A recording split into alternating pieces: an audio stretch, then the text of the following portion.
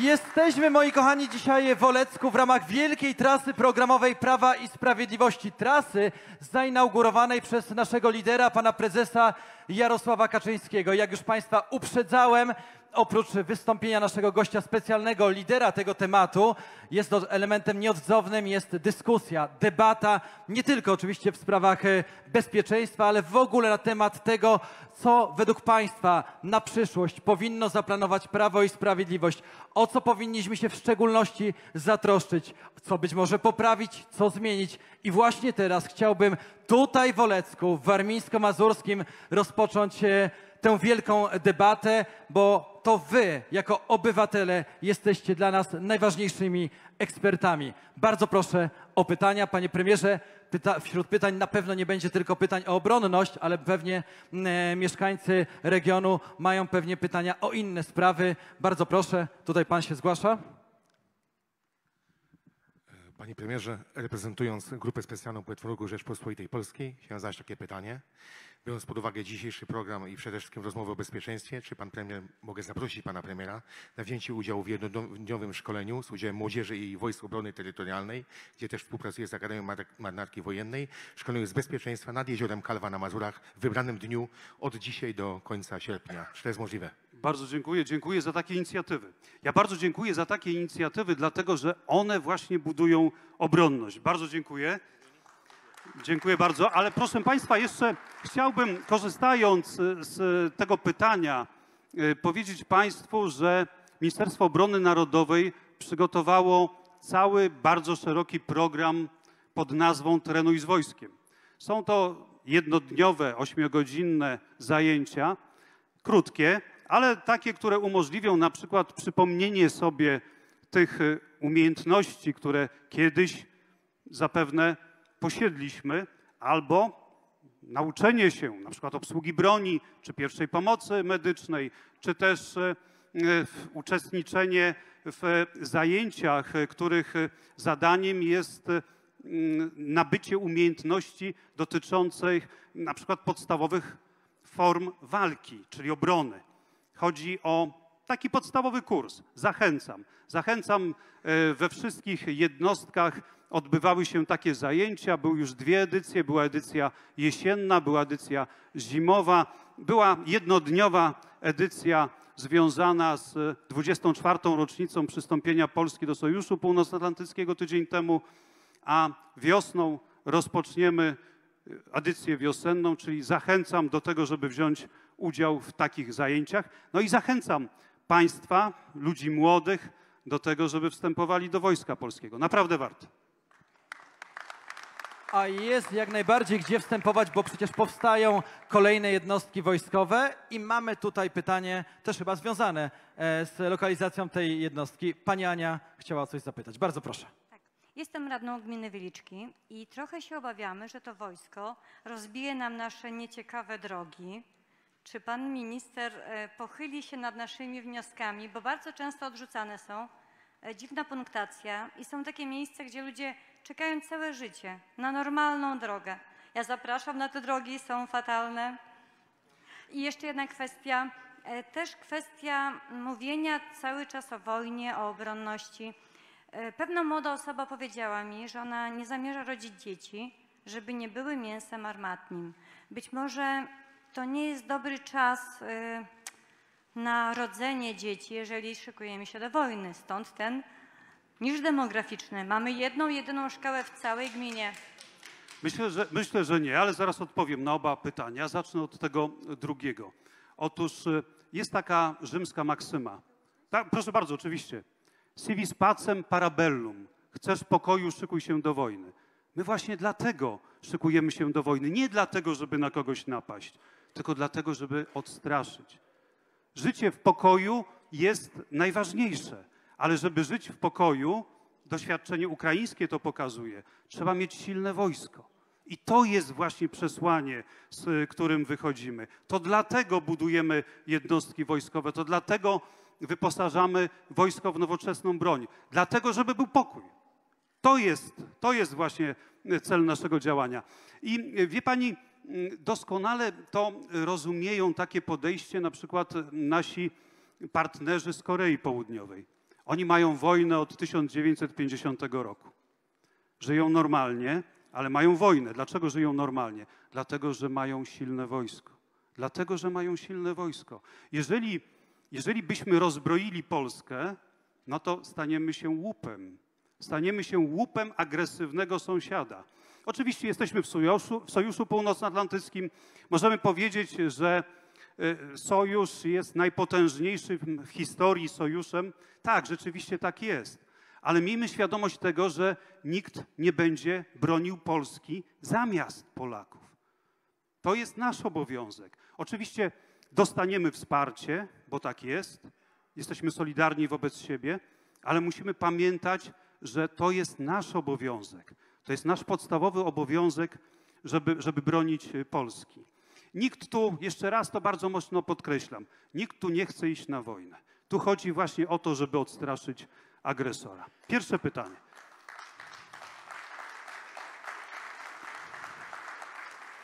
Pierwsze pytanie, drogi. No to jest zagadnienie dużo szersze. Porozmawiam na ten temat z moim kolegą, ministrem infrastruktury. Drogi budujemy w Polsce, bardzo wiele dróg. Sam przyjechałem z Warszawy e, drogami, które są nowo zbudowane. Ten proces e, trwa, odbywa się. E, Chcę Panią zapewnić, że nawet jeżeli jakaś droga tu w okolicach Olecka zostanie ze względu na pojazdy wojskowe, zostanie uszkodzona, to postaramy się ją naprawić, ale korzyści z obecności wojska polegające na tym, że chętni z Olecka, z powiatu oleckiego będą mogli przystąpić do Wojska Polskiego, będą mieli już na wejściu wynagrodzenie w wysokości 4960 zł, a to jest tylko pierwsze wynagrodzenie. Jeżeli są ambitni, pracowici, mogą bardzo dużo osiągnąć. Naprawdę mogą stanąć na nogi, mogą się usamodzielnić, mogą bardzo dużo osiągnąć. A więc zamiast wyjeżdżać z Olecka czy z powiatu oleckiego, ci ludzie będą mogli służyć w Wojsku Polskim.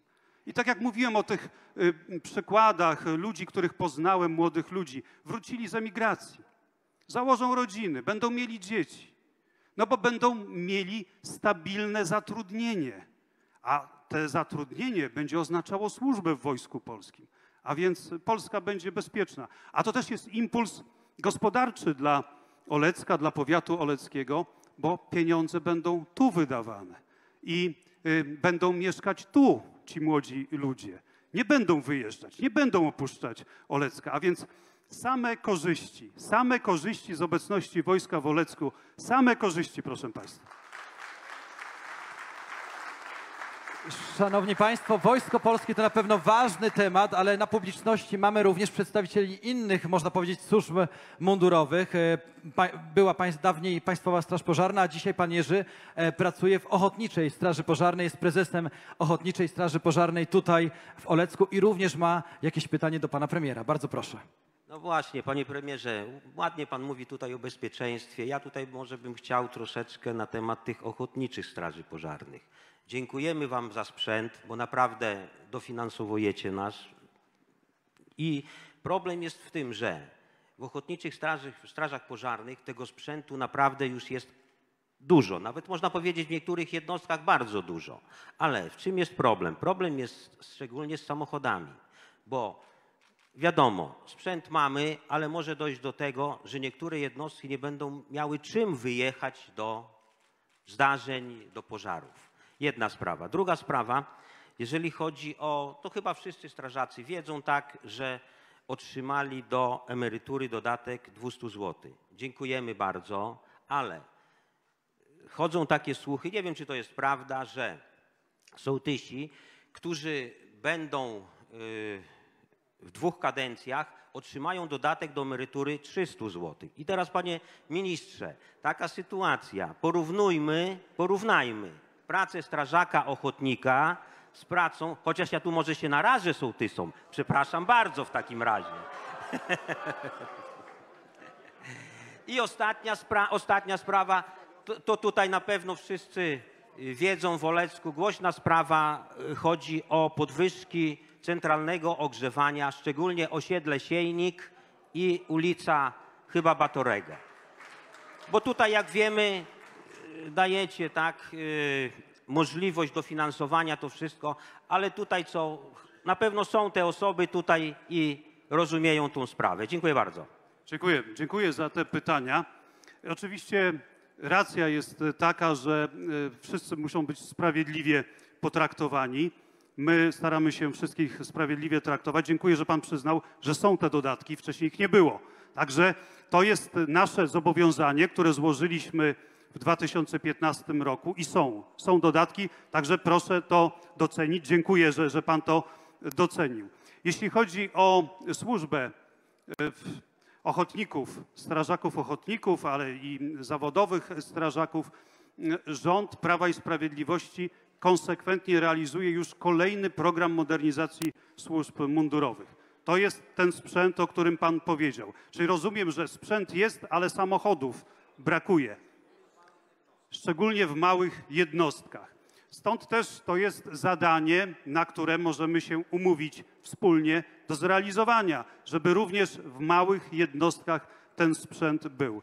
A ja będę bardzo wdzięczny, jeżeli druhowie ochotnicy też zainteresują się, jeżeli tylko im czas pozwala, do te, tym, że, żeby służyć w Wojsku Polskim, w sensie w Wojskach Obrony Terytorialnej, bo mogą przecież łączyć e, te zajęcia. I to też jest taki bardzo ważny element integrujący służby odpowiedzialne za bezpieczeństwo.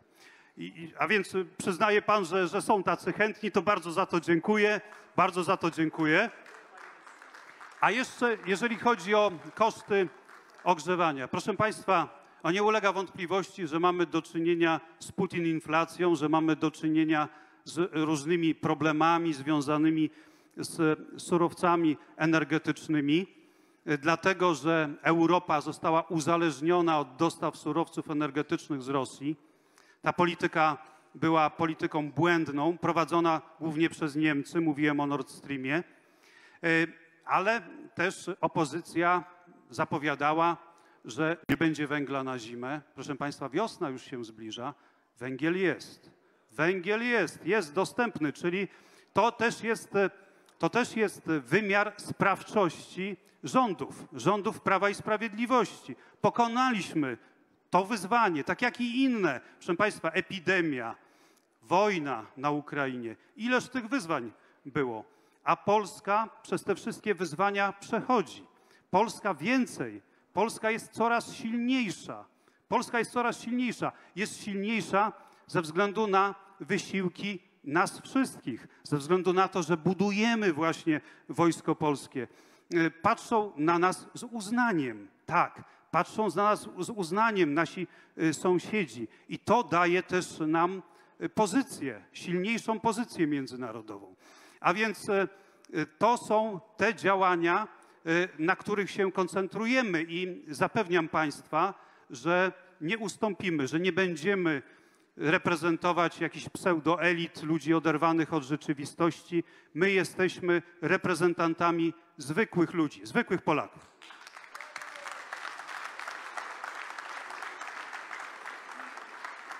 Rzeczywiście ta polityka wsparcia dla po- gospodarstw domowych realizowana przez rząd Prawa i Sprawiedliwości była bardzo, bardzo szeroka, ale również sprawdzimy sprawę e, tego osiedla. Jeszcze po spotkaniu e, na pewno e, porozmawiamy. Bardzo proszę, pan Paweł, tak? Ma też kilka pytań odnośnie dróg. Dzień dobry panie premierze, nazywam się Paweł Czemiel. Zostałem trochę wywołany, bo jestem doradcą pana ministra Andrzeja Adamczyka, którego serdecznie pozdrawiam. Tylko chciałem powiedzieć do pani, że jeszcze nigdy w historii naszego województwa nie było tyle inwestycji. Na drogach samorządowych corocznie realizujemy 155 nowych inwestycji. Mało tego, co chcę też powiedzieć, pan premier buduje drogi obronne razem z Ministerstwem Infrastruktury. Mało tego, te drogi już w naszym województwie zostały wybudowane. One, praca ruszyła w 2019 roku.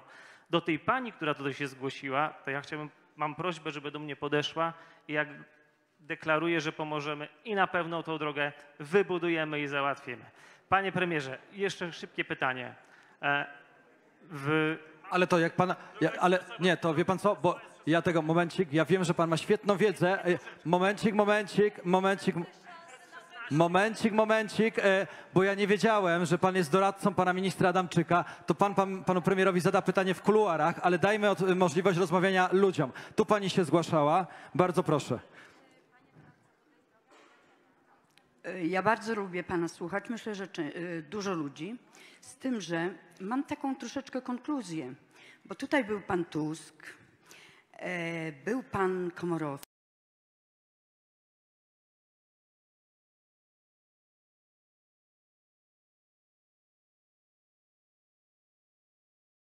Taki bardzo bolesny moment, że warto powiedzieć, że bardzo dużo u nas jest za Tuskiem. Dlatego, że on sobie ludzi kupił.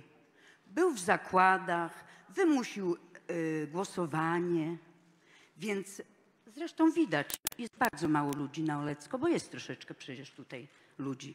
Jest naprawdę bardzo przykro. A odnośnie spółdzielni, ja jestem z tego silnika. Nasza spółdzielnia zrobiła się jako państwo w państwie. Nie dajemy rady i naprawdę chyba będziemy musieli telewizję zwołać czy coś takiego, bo naprawdę jest kolosalne ceny, których nie da się pokonać. Dziękuję. Dziękuję y, za y, pytanie. No, rzeczywiście konkluzja jest może nie, niezbyt wesoła, ale proszę Państwa, Prawo i Sprawiedliwość o Olecku nie zapomniało, a czego dowodem jest jednostka wojskowa, która jeszcze w tym roku w Olecku powstanie.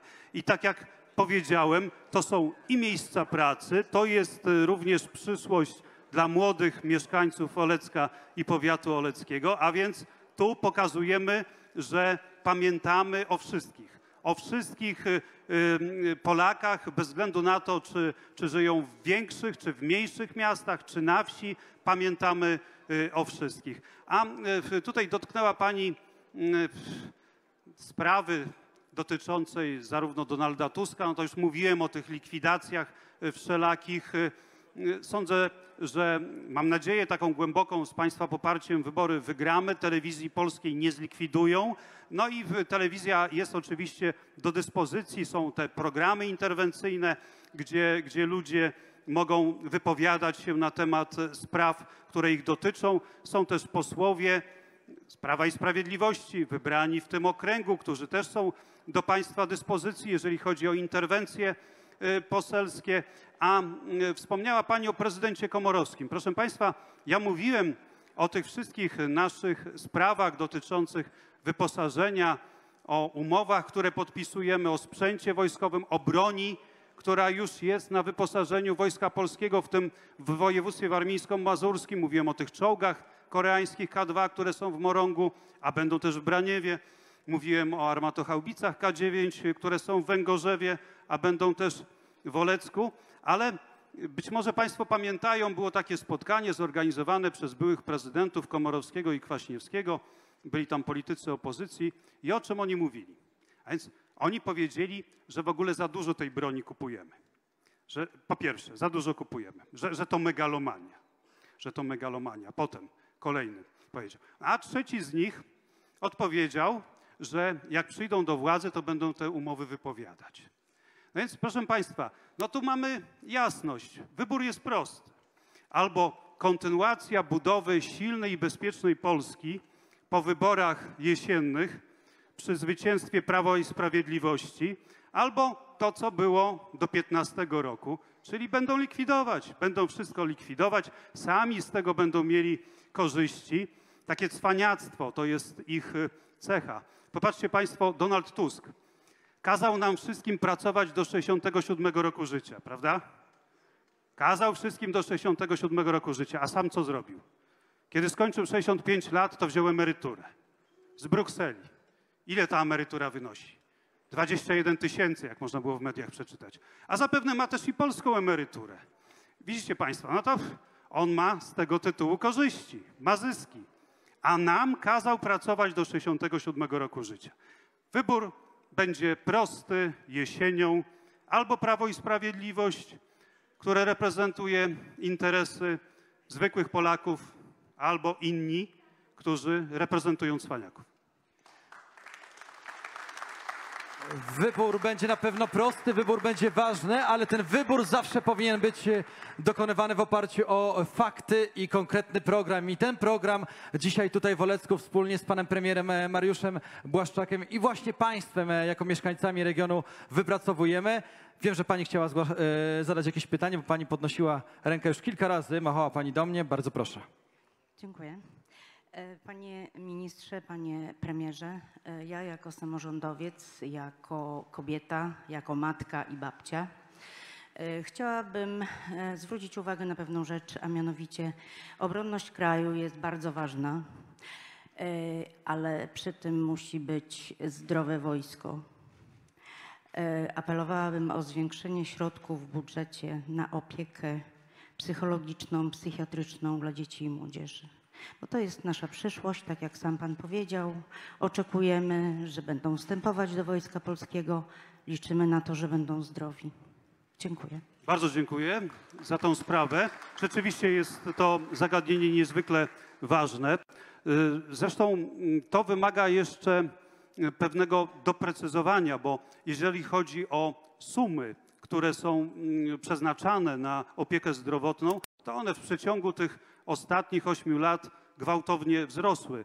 Fundusz, fundusz, Narodowy Fundusz Zdrowia dziś to jest y, 120 miliardów złotych, w 2015 roku to było 70 miliardów złotych, a więc y, te sumy wzrosły, natomiast y, one muszą być też gospodarnie wydawane, one muszą być skierowane tam, gdzie są potrzeby. I rzeczywiście tu są potrzeby. Ja y, te potrzeby widzę. Y, Rozmawiam również z tymi, którzy rekrutują do Wojska Polskiego. I tak, y, są takie przypadki, trudne, trudne przypadki, a więc zdrowie stanowi podstawę. Podstawę dla każdego społeczeństwa, podstawę rozwoju każdego społeczeństwa. Dziękuję. Panie premierze, i wiem, że pani Agnieszka ma pytanie chyba w podobnej sprawie, tak? E, Tak, sprawa również by dotyczyła e, szkoleń i dbałość o, o kondycję moralną wojska. Ja się całkowicie zgadzam z panem premierem, że jeśli chodzi o atak na naszą granicę białoruską, to to była wojna hybrydowa wywołana przez Putina, ale wydaje mi się, że nasze wojsko, a zwłaszcza wojska obrony terytorialnej, nie zdały tego egzaminu. I wiadomo, że przemoc jest niszcząca przede wszystkim dla sprawców przemocy, nie tylko dla ofiar. I wobec tego sytuacja, w której wojsko atakuje bezbronne kobiety z dziećmi, przemarznięte. Tak, takich e, sytuacji nie było, proszę pana. Były takie sytuacje. Szanowni Państwo, pozwólmy dokończyć. Tutaj są osoby na sali o różnych poglądach. Każdy ma prawo zadać pytanie. Pan premier na pewno do tej wypowiedzi również się ustosunkuje i to będzie też okazja, żeby zdementować pewne fakty, które się pojawiają. Dajmy szansę każdemu powiedzieć z szacunkiem. Znaczy, to akurat są fakty, e, jak również atakowanie aktywistów na granicy. I ja bym chciała spytać, nie o fakty, bo ja je znam, ja bym chciała spytać o środki zaradcze, bo wojsko, które doznało takich doświadczeń, to ja mogę jako obywatelka tego terenu się czuć zaniepokojona. E, Znaczy, duże zgromadzenie młodych mężczyzn, o których szkolenia być może nie zadbano, a jeśli tak, to chciałabym wiedzieć jakie, to jest również zagrożenie dla cywilnej ludności. Wiadomo, kupa młodych mężczyzn w grupie to jest pijaństwo. e, No to, i to też jest stereotyp. Ja akurat tak się składa, znam jednego, który się zgłosił do jednostki w Węgorzewie i to jest złodziej i alkoholik. Proszę pani, Mam nadzieję, że nie ma takich więcej. Dajmy szansę odpowiedzieć panu premierowi. Bardzo serdecznie dziękuję. Proszę nie obrażajmy tak. konkretnych grup Oczywiście. społecznych. Proszę Bardzo pani, proszę. y, mam wrażenie, że pani się posługuje stereotypami. Y, To jest pierwsza sprawa. Druga sprawa, że y, żołnierze znaleźli się pod dużą presją ze strony celebrytów, również z Polski. No na przykład y, ten celebryta, jego nazwisko wymienię, Władysław Frasyniuk, y, który w telewizji obrażał obrażał polskich żołnierzy broniących granicy. Trzeba o jednym pamiętać, że, że, że to nie była zabawa, że to nie była igraszka, że ci, którzy ten plan narysowali na Kremlu, spisali na Kremlu, Oni rzeczywiście chcieli doprowadzić do kryzysu. Kryzys polegałby na tym, że masy ludzi forsowałyby polską granicę nielegalnie. Przecież jeżeli pani mówi o kobiecie, o dziecku, ci ludzie mogą się zgłosić na przejście graniczne. Nie muszą przechodzić nielegalnie przez granicę. No nie muszą przechodzić nielegalnie przez granicę. A zadaniem Straży Granicznej, żołnierzy Wojska Polskiego jest strzeżenie granicy. Wyobraźmy sobie, co by się działo, gdyby ta granica padła. To przecież to byłby magnes, to byłaby zachęta do tego, żeby inni szli tą drogą.